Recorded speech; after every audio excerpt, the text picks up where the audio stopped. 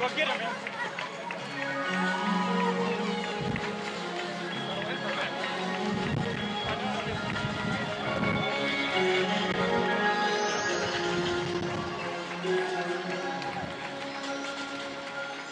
Thank you.